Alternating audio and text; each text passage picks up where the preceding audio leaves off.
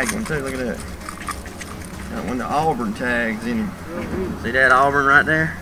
Good work, Auburn.